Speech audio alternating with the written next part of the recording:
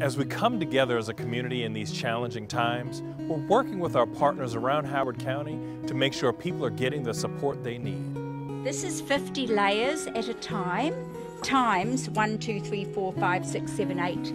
So we can cut 4,000 units in a day.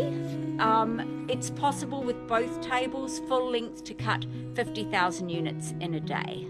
This is Sibel, and Sibel is also cutting, but she's using the smaller knife and doing um, the smaller cut runs. Tomorrow, the entire table will be getting laid up with the commercial, with the computerized markers, and we'll be cutting the entire table. This is Janess. This is what she was doing yesterday. So this has the nose guard, so you can shape it. It has the antimicrobial on the on the inside, and it has the tabs. And I'm going to take you for a walk and show you what we do with the tabs. And when they are threaded here, you have a piece that goes over the top of your head, a piece that goes behind your head, and then the knot.